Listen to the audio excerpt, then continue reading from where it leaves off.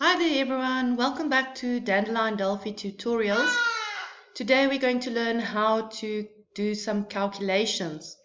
Now we want the user to see the calculation so therefore it's done between the select and the from. And here is an example of just listing the surname and the cost but then calculating the VAT. So I'm using what value is inside of cost and multiplying that by 15%. And then after the calculation, I'm putting as VAT. What you place after the as is what you will see as the heading at the top of this column. So this will be the third column. You will see the surnames, the cost, and then at the top you'll see VAT and the VAT calculating from the existing cost. Remember every select needs a from, and we can after this also add a where and an order by. Here's an ex another example. This is showing me the cost, but then it's showing me the cost including VAT. So I'm taking the existing cost and I'm adding to it 15% of the cost. And in this case, I have a field name with spaces in it. So it's important to still apply our previous rules where we have to put square brackets around the fields. You can use your normal multiply, divide, plus and minus here in your calculations and this will do calculations on each record. Here are a whole bunch of functions that we could use also within the select to do some calculation or maybe formatting. So around here where I put an F, that means you have you're going to put a field name there, or it could also be a calculation that you've done. So around we'll just do normal bankers rounding like we've done in grade 10 and then round with a field name or calculation, comma, and then a number will round the number off to a certain number of decimal places. So Y will represent your decimal places. Then I would like to format the field sometimes as a currency. So I'll put format, field or calculation, comma, and in double quotes I'll put currency. Note that it's not FF currency. This is currency because we're busy with SQL code. Here we have the left function. So left will take a field and copy it from the left, from the first character, for y number of characters. So if I have a field that contains John, so my SQL code will say select left name, comma 2, um, but let's say John was in one of the records, and I put a 2 there, it will copy out J and O. Then right will copy out the field from the last character, for y number of characters. So doing the same right with 2, um, it will copy out the h and the n. And then mid is very similar to your copy function, where I say I want to start at a certain character and want to copy out for a certain number of characters. Then len is the same as length, and to concatenate two fields. That means combine two fields together. Instead of using a plus like we would in Delphi, we are going to put an ampersand sign. This is usually the key that you would find if you push Shift and 7 on your keyboard. And then in string is the same as pos, but the, these two values are swapped around um, compared to pos. So this is the field and this is what we are looking for in this field. And then we have U case, which is similar to uppercase and L case, which is the same as lowercase. Here we have some date functions. So date is the same as the date function you've used in Delphi, but you have to put these two round brackets afterwards, else you'll get a runtime error. And now we'll have the date and it will include today now's time, and then we can also format time. But what is important is that we can format our dates. So we will have select, format, and then maybe date of birth field listed here, comma, and in double quotes we'll put how we want to format this date. You now have control over how you want to display this date. And I'm going to display the months to you. The years and days will work the same but months have more options. So if I put four M's next to each other, it's going to show me the full name of that month. And then when I put three M's, I'm going to see the abbreviation of the month. two M's will show me for the numbers 1 to 9, it will show this leading 0. And then 1M for the numbers 1 to 9, it won't show me the leading 0. For two M's and one M, the numbers from 10 upwards will not be affected. So that's the same for years as well as for days. So here's an example. If I would put format and then the field name um, and a comma, I can display the date in this format. So show me the day without the leading zero, the abbreviated version of the month, and then only the last two digits of my year. I can decide what I want to put in between the days, the months, and the year. I don't have to display all of them. And I can decide to maybe put a space or a divide symbol or even dashes in between. I can also swap the years and months around in whichever format I would like to see it in. It is important for all of these functions that you see at the moment that the field here is of date data type. These three functions are very handy. You would have come across them, similar ones in Delphi, where we had year of, month of, and day of.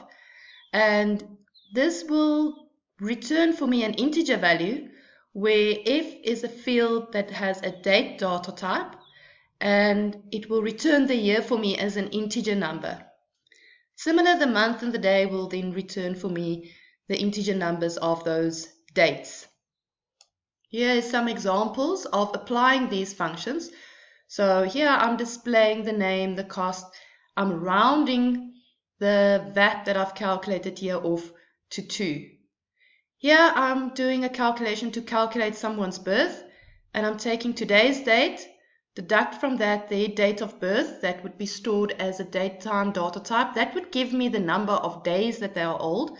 So therefore I need to divide by 365.25 and I'm rounding it off to get an integer value. Here I'm possibly creating something like a username. Uh, the first part of this username will be in capital letters and it will consist of the first three characters of the person's first name and then combined to that, concatenated with the ampersand, I then have the lowercase of the person's surname, but of the last two characters of their surname.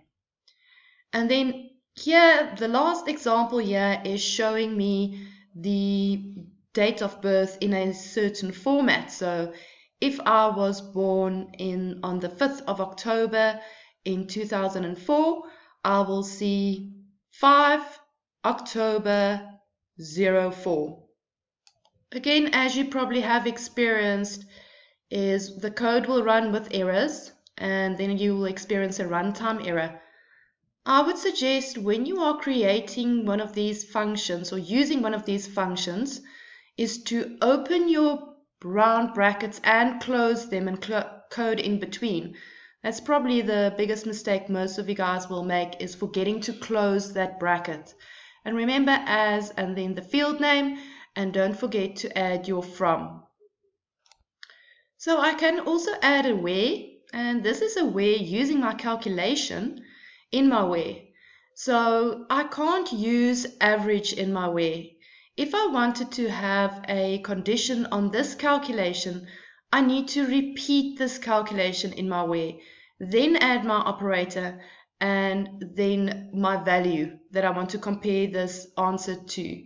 It's not important to have the formatting here for your calculation, but this is really showing the person's first name and calculating their percentage to test that was out of 150 in total and multiplying by 100 and then seeing who which learners it was that has a percentage of less than 50.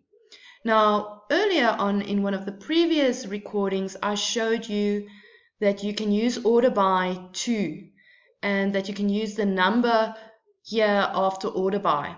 So we could have said sort this these records according to the second field listed but when you have calculations, the moment you're using plus, minus, divide, or multiply, in your calculations in that field, you can't use the number order of that field. You have to repeat the calculation in your order by.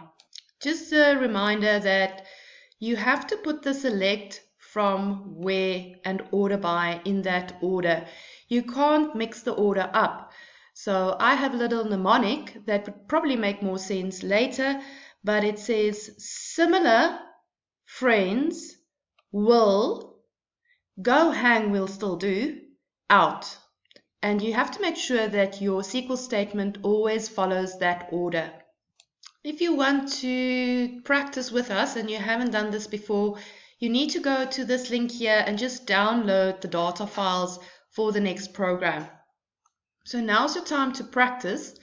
Um, we're moving on to the menu called calculations and in that main menu there are sub menus and First do the company age menu.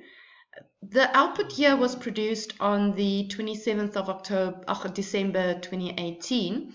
But if you run it today in 2020, this will be your output. Also try the next two menus. Try the income menu, but note that the income here is displayed as a RAND value so that means that you have to use format with currency. It's always important when you're doing an exam that you look at the example of output and your output must match what you see on the screen exactly. Try number five, calculating the VAT. And also try number six, the percentage. Just a note is some of the output you will see that it says an extract of output. That means that there is more output. This is just part of it. If it says example of output, your output must match what you see on the screen exactly. But for an extract of output, you can just check if your output at the top looks the same as what you see on the example. Here is the memo for the income menu and I had to display the description of the activity and their renting cost and then I had to calculate their income. So that would be the number of tickets they sold multiplied by the cost per ticket displayed as a currency. So you'll see format here in the front. And then at the top, my heading said as income. And the data for the ticket sold and ticket cost and so on sits in the activity table. So from TBL activity. I was then asked to only show those activities or records that made a profit. So that means that their income was more than their renting cost. So this here is the same calculation as I did in my select that the user will see. And this is making sure I only see the records that made a profit. So their income is higher than their renting cost. And I was asked to order by or sort according to the renting cost. The renting cost was my second field. It did not contain a plus, minus, or divide, so I could say order by 2. That was my second field listed, and I had to display it from the record with the highest renting cost to the low, so therefore I added DESC at the end. I hope this helped you, grade 11s and 12s, and I hope to see you soon.